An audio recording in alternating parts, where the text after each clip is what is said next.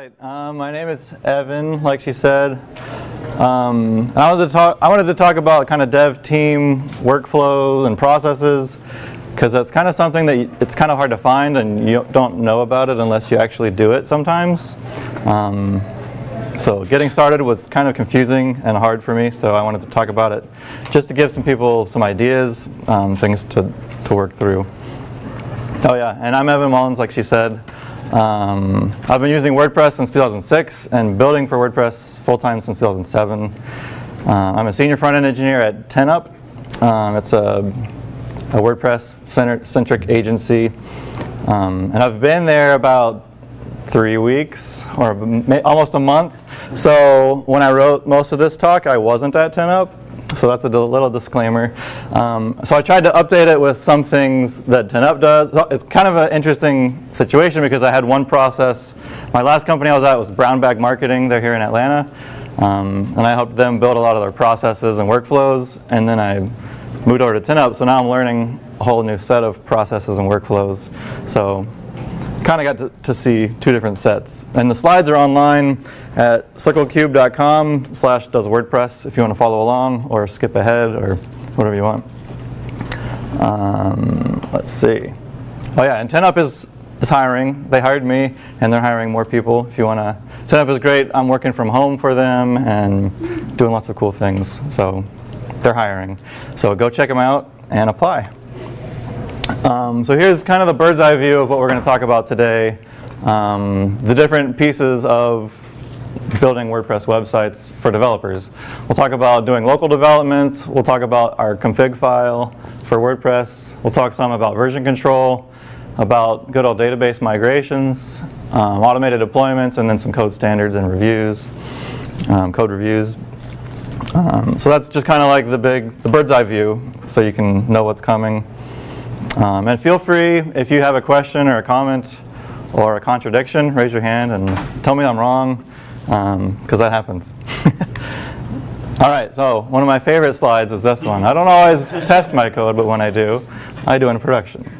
So it doesn't happen as often as anymore, at least for me, but 10 years ago, web development, a lot of people were just, we called it cowboy coding. You would just jump onto your server and start editing files you hit save and you hope you didn't break anything. And if you do, then you hope you remember to go check to make sure you broke it before you close your computer and leave for the day. Um, and that's happened a few times. But so instead of logging onto your web server and actually editing files live, um, which is a no-no, we try not to do that. Um, we do something called local development. Um, so that is, in case you don't know, you can set up your own machine to act like a web server. Um, and you can tell your browser, or you can tell your local machine that you can set up websites on your machine that are running, and they can be clones of your actual production sites, um, or your own personal site, whatever you want. And then you can make changes, you can do all your dev work locally, and you can feel safe that if you break it, it's not going to bring a whole website down. It's just on your machine. Um, and then once you get it all built and you have it done, then you can push it up to your production environment, your web host, and then it'll be up there. Um, so, and the way we connect with our servers is a tool called File Transfer Protocol, or FTP, um, or SFTP if you want to be secure about it, which I would recommend. Um, there's a few um, FTP clients, they're called. They're little programs you can run on your machine that will connect you to your web host, um, be it um, HostMonster or Bluehost or any of these guys that are sponsoring here today. Um, so that's one way why you're going to be connecting to your server. So you'll have your files on your computer in a folder, um, and then you'll have files on your server, and you'll, you'll, try to just sync those up with your FTP.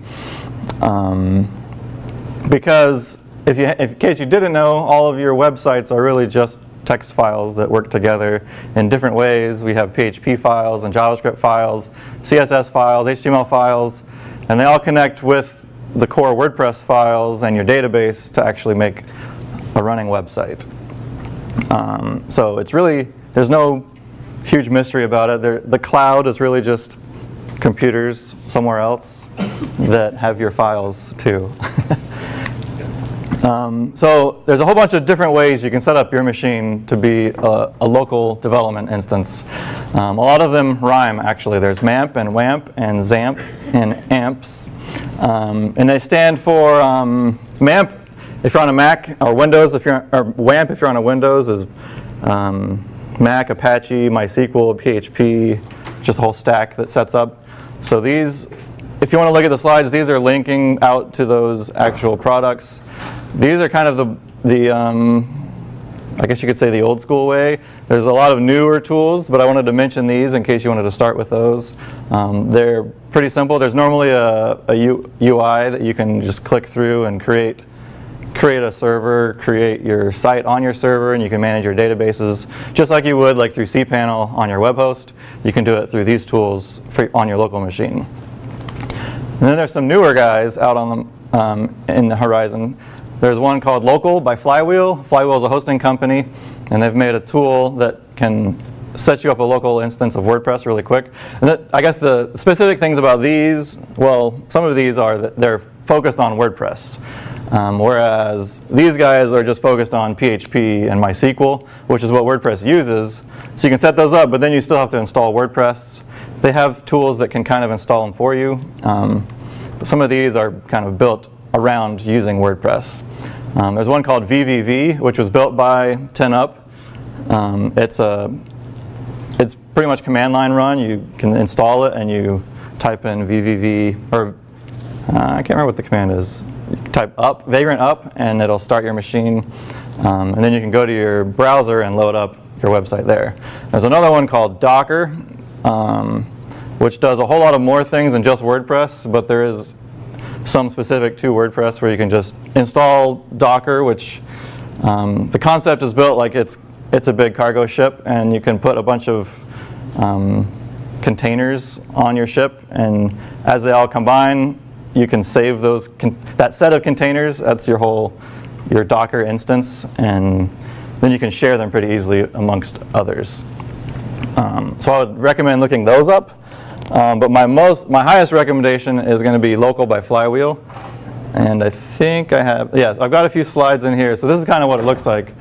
Um, you can almost see it. Um, so this is kind of the, the home screen when you, you start a new site in local by Flywheel. You just type in what your website name is going to be, and you can give it a what domain you want to use. Um, and you can tell it like which version of PHP you want, which version of MySQL you want, which kind of server you want. It can have Nginx or Apache. And then you set up a username or a user account for your WordPress. And it even works with uh, multi-site. Can anyone actually read that? It's pretty. Um, It's, so you can do multi-site as well with this, and then you click add site, and it spins for a minute or two, and then all of a sudden you have a little local instance set up. And then you can go in your browser to whatever domain you choose. I put local.circlecube.com, and then I'll give you a basic WordPress install. And then you can go in like normal and install a theme or any plugins you want, and you've got a local instance. So then you're not cowboy coding. So I think that's the very first step if you want to be developing on a team or using a, a modern workflow, you want to definitely make sure you're you're using a local instance of WordPress and not logging onto your server and cowboy coding. Um, oh, and there's another tool. Uh, it uses Docker, but it's more specific to WordPress. It's a tool from 10up. It's called um, WP Local Docker. You would run, so it's up on GitHub. You can, and we'll talk about GitHub a little bit more in a minute. Um, but you can run a couple commands in your command line and it will do a whole setup for you.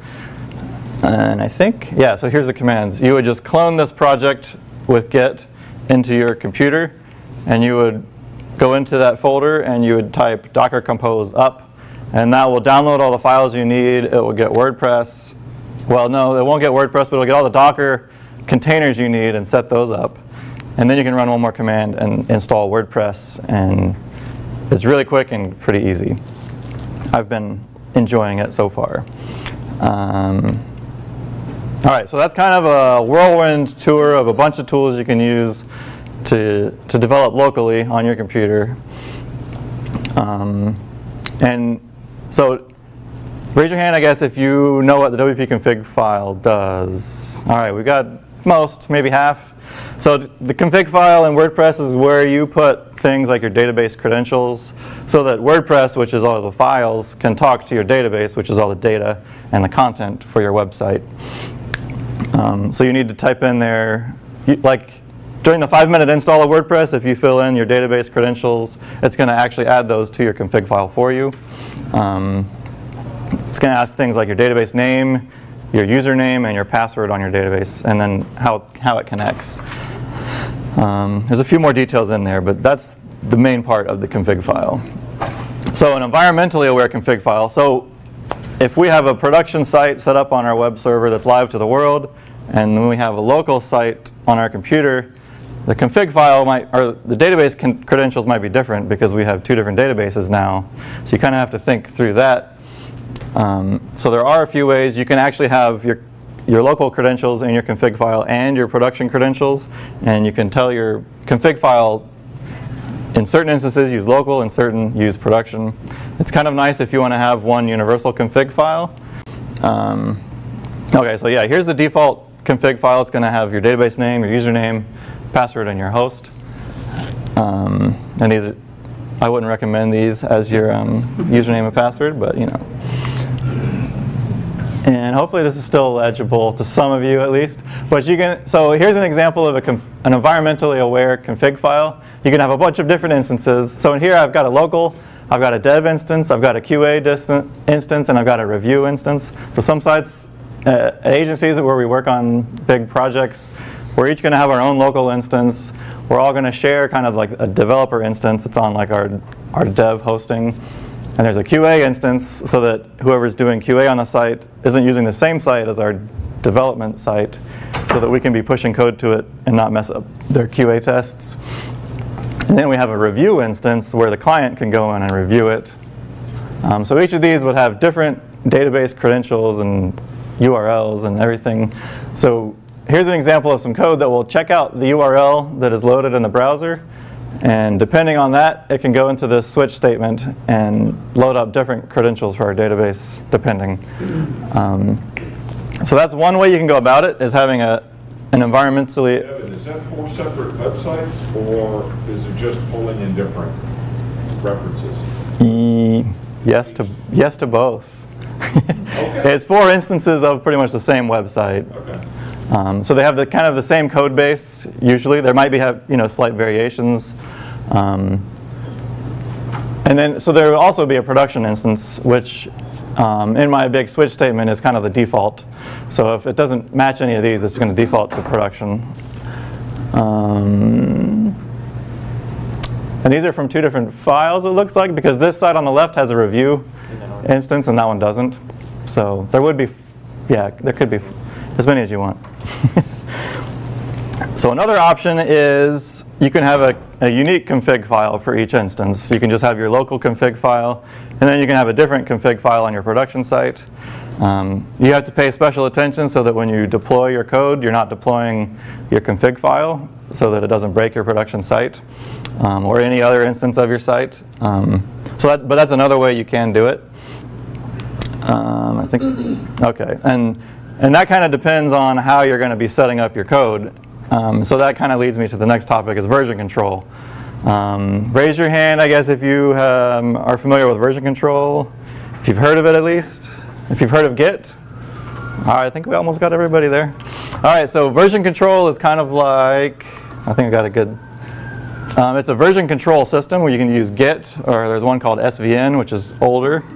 So if you ever read online, people talk about VCS. They're talking about version control systems. Git and SVN are two examples. There's a few others out there.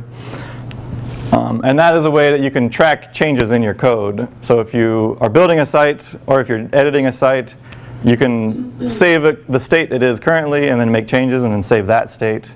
And it's a really easy way to do it. So then you can share code with other people and you can deploy code with this.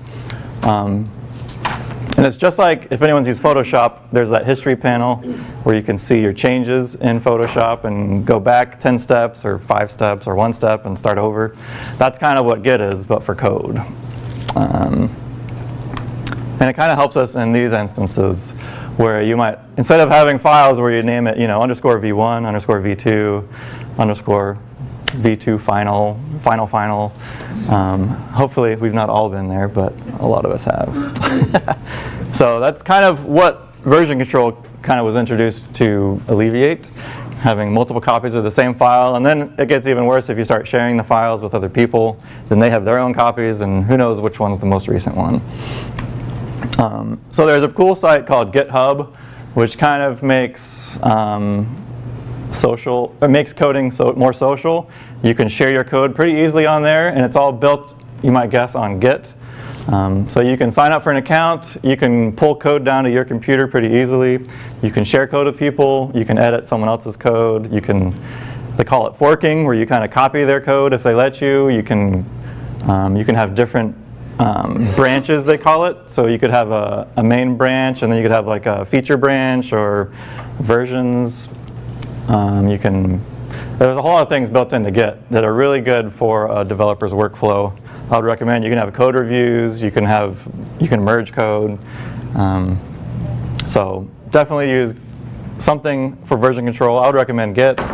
If you want to, you can use SVN. I think it's a little more clunky and older, but it works. Um, so this is a page, WordPress actually has a lot of things on GitHub too. So you can go look at WordPress code on GitHub, even though it's not actually, they're kind of two instances. They use SVN and Git.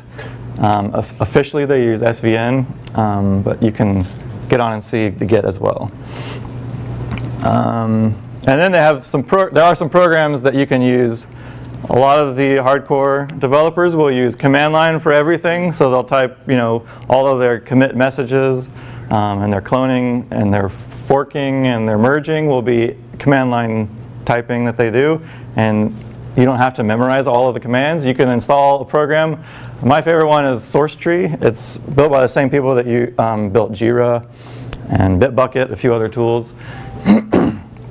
But it, you can kind of see here, like all of these lines up there are um, commits, we call them. So I made changes to a file, and I wanted to save that state, so I would do a commit, and it would save that instance there. Um, so you can do, they're like, you can do one in a day, or you can do 10 in a day. People do it like either to save their daily work or to save that feature they were working on. Um, there's lots of different ways you can do it. So SourceTree is a really good app I would recommend. Um, and this is a, man, I wish we could read this better. But, so this is kind of a timeline. There's a thing called Git Flow. And if you're working on a team, I would recommend using something similar at least or inspired by this. Whereas, so each line on here is um, representing a branch in the code. Um, so with Git, you can easily branch, and that'll make kind of like a, a version copy of that code. You can make changes to that version, but not the other versions. And then if you need to, you can merge those back in later. Um, so this, uh, let's see, this blue line over here is the master branch. That's going to be like all, we normally, master is your, like the default branch in Git, and it's going to be like, we kind of normally use that as like your production code. So if you have a, you can have a develop branch. So that's kind of where you're going to be building your website, and you'll have that kind of like the the instance of what is your your dev version of your site. So you can make changes on there, and you can see eventually they get pushed over into release branches or pushed over into the master branch, and you can tag that as a release, things like that. Um, but there's a lot of good articles out there. You can just search Git flow. Um, I think this image is from that first article from it, which kind of started the Git flow uh, model. Um, but does anyone have any questions about that? I'm, i kind of whirlwinded through Git. I didn't want to bore people that use it already, but I want to give it a good introduction to people that don't. We good? All right. Um, so then there's another question. Which code do you source control? Um, generally, we try not, I mean, because WordPress is WordPress code plus theme code plus plugin code. Generally, people that are building WordPress sites didn't write every line of code they're using on their website. Um, so we try not to version control code that we didn't write because um, I mean, if you run an update in WordPress, you're getting a whole bunch of new code from a whole bunch of people around the world that have contributed to WordPress, but you wouldn't really want to commit that in your in your Git because that's not really your code. You're not really controlling it, um, but you could. So you could have so each each um, environment or um, instance of Git is we call them repositories or repo for short. So if you hear people talking about repos, they're talking about Git usually. Um, so you could have a repo for your whole website. So all of WordPress, all of your themes and plugins and everything. Um, you could have one instance of Git, um, a repo, and that could be all of those files. And if you ran an update, you could do a commit and say, I just updated WordPress. And you could commit that. So that's one way you could do it. Or you could have a repo for just your theme. If you're building a theme for a website, you could have just your theme as a repository. Or if you're building a plugin, you could do a repo just for your plugin. Or if you're building a big complex site that has a theme and a few plugins and custom plugins, you could have all those in one repo. You could have them all in their own individual repos. It's kind of up to you. And whichever one you decide kind of determines how you might end up deploying the code. Um, you could have, so if you have a theme and you want to deploy it, you could just, or you could push it over to Git or some, or GitHub, and then you could pull it to your live website from there. there um, we'll talk a couple different examples of how you can deploy code. But I just wanted to mention, like, not necessarily all the code on your website has to be in your Git um, repository. And you can even ignore files in your in your version control, um, so it'll just skip those files. You can ignore whole directories. Um, so there's lots of different opinions out there. I didn't want to burden you with um, one particularly. I wanted to give you kind of an overview. Normally what I do though is uh, my theme will be my repository and if I have, normally I'll have a plugin that goes along with the theme. So I'll have kind of two repositories that work together. Um, and there's a good tool, okay, it's right here. There's a good plugin for WordPress called GitHub Updater, um, which, you know, on WordPress, if you have a plugin that has been updated, you have the little update button and you can update it and get that shiny new code on your site. Um, but that goes through the WordPress repo of all the plugins and themes. Um, if you're developing your own, you're not necessarily going to be pushing your plugin that you built for your specific client or your specific site over to WordPress, you could host it on GitHub and then use this plugin, which will then up, it'll check GitHub for updates, and you can update your site just like you would if it was an official plugin. You can update it through GitHub. So you would push your change, you would commit your changes and push those to GitHub, and then go into your WordPress admin on your production site. It would say, hey, you've got an update for this one plugin, and you push the update, and it'll pull all your new code in. Um, so that's a really cool tool that I've I've used a lot that helps the workflow. So you don't have to you don't have to deal with FTP in this case. You just click the button and it does it all for you. um, okay, so now we're going to talk. If you have a local instance, you're going to probably want some build tools um, that will help your development run a bit smoother. Um, and this this could be for a theme or a plugin. Mostly, I'm going to talk about theming. There's a great tool. Um, we'll talk about Gulp in a second more, but there's a Gulp tool. Gulp is a build tool that kind of does a lot of things for you. Um, we let the computer do the repetitive tasks for us, right? A big mantra of development is dry, don't repeat yourself. You can write it once and let the computer do it the rest of the times. Um, so um, this guy, Ahmad Awais, I'm not sure how to say his last name, but he built a tool for Gulp which fits into a WordPress themes. Um, I think the next slide talks about it. Okay, so this is general generic to Gulp itself, and it's not specific to his project, but his project is a good starter place if you want to start with this. So if you're building a theme, and if you're using something like, if you're using Sass or any PHP or any CSS preprocessors, um, or if you're using any modern JavaScript and you want to, you know, concatenate your files or minify your JavaScript or any of these tools, optimize your themes, images, or one of my favorites is, um, well, we'll talk about that in a second, but so Gulp is a node package which you can install on your computer and you type a command, normally Gulp or Gulp watch, and it can compile all of your files in your theme and actually um, prepare it to be released. Um, so it'll get all of your, compile all your Sass files and clean up your JavaScript. It can do like um, auto prefixing and um, I mean, there's like so many things that it can do for you. And you set it up once and then you can run it anytime you need to do a release or anytime you want to check it and it'll do everything for you in the right order, in the right way.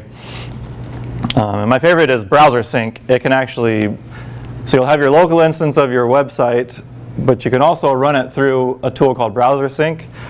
So if you're building your theme, you can have Browser Sync opened up in your browser, and if as soon as you hit save, it's going to recompile your Sass, generate new CSS, push it over to the browser, and refresh it for you. So as soon as you type like background red and hit save, as quick as you can like move your eyes over to the browser window, your background becomes red. So it really helps your dev workflow go a whole lot faster. And you don't have to, you know, save and then go compile or then go to your browser and refresh and then clear your cache again and refresh again because it didn't load. Um, so that's a great tool that I've been using for a good while and it's helped my workflow a lot. You don't get distracted with things like switching context into the browser. Um, you can just hit save and keep going. Um, okay, so I got a little example of how you would set that up. And this is assuming there are some tools that I'm, I guess, assuming we have already.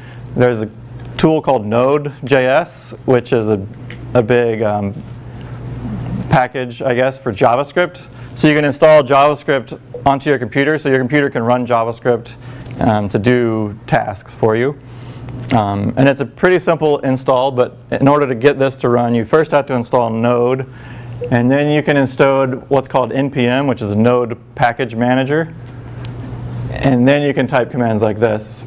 Um, so those two installs are pretty easy, and I think they're pretty well documented. But go online and search node install or npm install, and it will it will kind of lead you through that. Um, so Node is a library that lets you run JavaScript on your computer, and then there's a whole million packages online that people write and then contribute. So they're open source. You can install them on your computer. So it's kind of code sharing. So then you can type npm and that will access this whole um, library of packages. Um, so here we'd be installing Gulp as a tool to run globally on your computer. And then you can set up your Gulp file and your theme or your plugin. And you would do it. So you would type npm install and it will install all of your packages for your theme locally. And you just start it. You type gulp in your terminal, and it will start running. Um, type, I guess you would type gulp watch usually to actually have it watch your files and update on the fly. Um, and then you've kind of entered the um, you've entered the gulp uh, watching state. And to exit that, you would type Control C in your terminal on a Mac. Windows, it's something similar. I can't remember what, but so that's, that's a good tool if you're going to be working on a team. And it's nice because then you'll have this gulp file which stores all of your gulp settings. And you can put that into your Git repository and share that with your whole team. And as long as they've all got gulp set up on their computers, you can all have the same exact build process on each computer. So if someone else is going to do, you know, if you have a front-end person that's doing the CSS, if you have a, an interactive developer that's doing more of the JavaScript, if you have a backend developer that's doing more of the PHP, you can kind of all share the same build process so that you can all have a, uh, a consistent local environment. uh, there's a lot of different build and workflow tools. We talked about Node and NPM. There's Gulp. There's a missing image in the middle that's called uh, for Grunt. It's another build tool package. There's a newer one called Webpack. Um, and they all kind of pretty much do the same things, just slightly different ways. So sometimes a different tool might be better for, for whatever site you're on. And there's one which is more PHP focused called Composer, which is very similar to the idea behind NPM, where there's a whole bunch of packages and you can run a script that will go grab them all and install them locally on your machine um, so that you can use them. Or even on your machine, but also you can run that on your server and get all of your libraries set up. So those are some, some places to go dig in if you want to learn more about that. Um, I think if you look at the slides, each of these icons links to landing pages for each project. there's Grunt. okay. And if you really don't like command line, um, there are other tools. One, I think one of my favorites is called CodeKit. There's one called Prepros, which I think is cross um, OS. It can, so you can set up a theme in there. You just normally would drag a theme into this app, a little applet, and it can set it up. And it can do a lot of the same things that Grunt and Gulp are, are doing as well. It can compile your Sass, it can concatenate your files and minify them.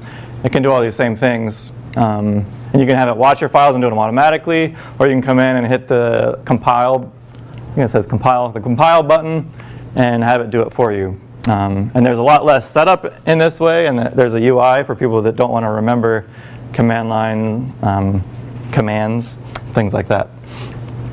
Okay. Um, so I'd recommend those if command line scares you. but if command line doesn't scare you, there's another tool I want to talk about called WP-CLI, which is a command line interface to WordPress. So if you have your local set up, you can get WP-CLI installed, and you can use this to actually do things like add users to your website, or install plugins or update plugins, a lot of things you can do just by getting into your command line and typing a quick little command. And I think I have a bunch of them up here. Um, so once you get into your project, you can download WordPress, you can set up credentials to your database, you can install WordPress and set up usernames and passwords. You can create users, install plugins, you can install themes and activate themes. So you can do all these things just with command lines. You don't have to go log into the admin side of WordPress and click through and find everything. And it's really nice if you do, I mean, if you kind of go through websites rather quickly, you do whatever, you could say if you do a website a month, you could save a whole list of commands that you can then just like go back and paste in and it'll do your whole setup for you. It'll save you the few hours that, that you have to take at the beginning of every project to go create up your site and install your favorite plugins and create an account for your project manager, whoever else is going to be logging in. Um, so it's nice. You can, yeah. I'm a big fan of not repeating myself. So once I've done something once, I try to figure out a way so that the computer can do it for me next time. Because computers are really smart. yeah, question? Can you do like a batch file where you can add like 100 users to your, your website through the CLI? I'm pretty sure you can. I haven't actually done that specifically, but I'm pretty sure you can. So yeah, that, that'd be a, a great use for it. Username and password in a file. Right, you just load it all in and it does it for you. The shell script, just call WP and pass the parameters in. Right. So yeah, that's the perfect use for it. All right, well that's going to bring me to database migrations, which is one of my favorite things. Um, so we kind of mentioned earlier, WordPress is a bunch of files. You're going to have those on your computer or on your web host or both, hopefully. And then you're going to have a database that WordPress stores all of its content in because um, it's a content management system. So it's got a database that goes along with it. But the, the hang up we get to is once we have a local setup and we have our production site or our dev site, you can have as many as you want. Then you're going to have a different database for each one of those usually.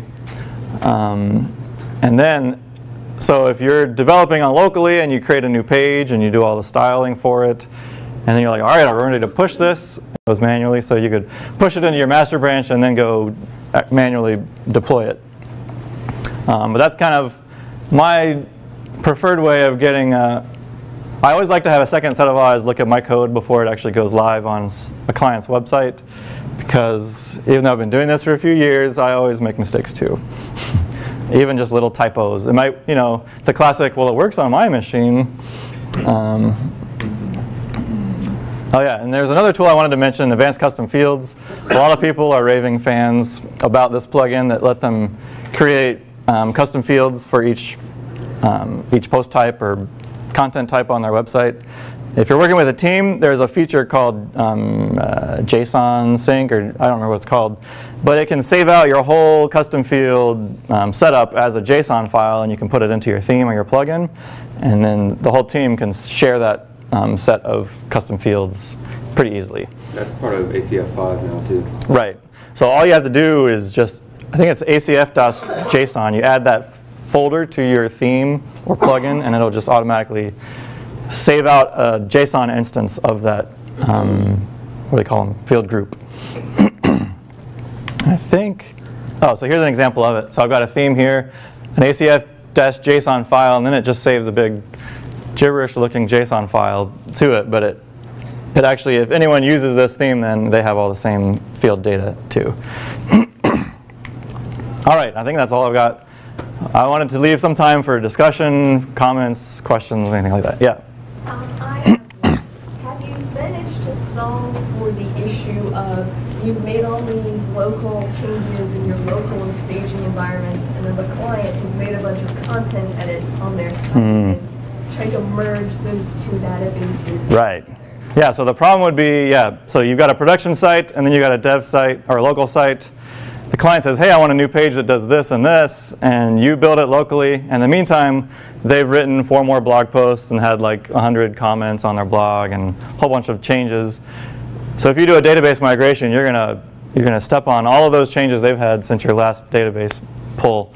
Um, so there are a few ways to do that. Um, they get kind of hairy sometimes, but I mean, the obvious way is you can manually, so you deploy your code and then manually go recreate that page. You know, you'd have them side by side, copy paste all your fields or whatever you need to. That one's kind of the lame way. No one wants to do that. Especially if you've done like, you know, 12 pages or 100 pages, you don't want to do that. There are ways you can set up, um, you can write MySQL scripts that will actually inject that data over into your database. I haven't done that very many times, um, but we could talk about it, I guess, in the happiness lounge. Yeah. Uh, Delicious Brains has a tool called MergeBot. Oh yeah. Um, It records what you're doing and then we'll push it. That's right. I was. I should have mentioned that. So yeah, the same company that did the Migrate DB Pro, they have one that it'll kind of do like piecemeal. It'll take two databases and you can go change by change and tell it which one you want to keep. Um, that did just come out of beta like earlier this year, I think. So Another one called VersionPress, right. which is, um, leverages Git uh, for versioning of database. Mhm. I haven't tried it yet. Okay. Can't vouch for it. So there are some tools. I've even seen a few plugins. I think there's one called Content Sync or something, which you would install on both sites, and then you could deploy like a single page to a production environment instead of your whole database. Um, that could be useful.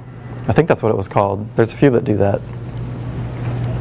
But yeah, that's that's the tricky situation to get into. You're like, well, I have I can't push the whole database because I know they're going to lose a whole bunch of stuff. It's like it's tricky.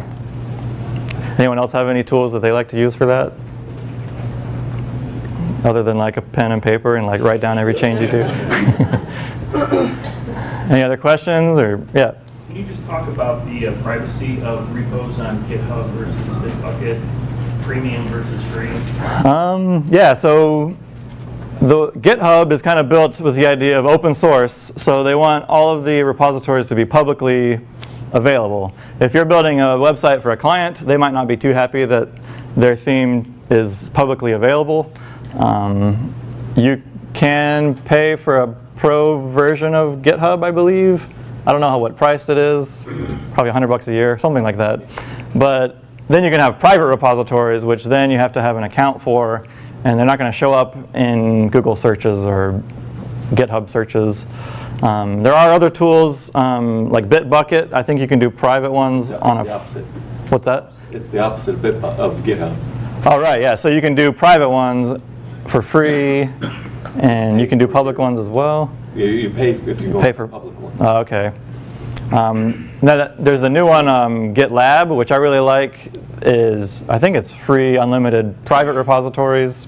So yeah, if you're working with a client, I would recommend keeping it private unless you've cleared it with them first, because you don't want them to find it and then say, "What is this?" Um, so yeah, does that answer the question? Git- GitHub's nine dollars a person a month. Nine dollars a person a month. So yeah, it can add up if you have a team of ten, but if you have a team of ten, you can probably afford it too. So. Less than five, Bitbucket is free. Okay. And there are a few other, pla like there's one called um, Beanstalk.